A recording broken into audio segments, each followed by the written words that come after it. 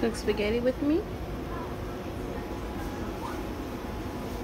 Fry pan, spoon, half tray, whole tray. Season. Prepare sauce. Dump. Shake. Sugar. Dump. Stir. Season this once the meat goes in. Garlic powder. Season and salt. Meat is ready. Drain it. Garlic powder. Season salt. Mix it. Make sure you want to cook it. So Naya started the spaghetti. I'm gonna finish it.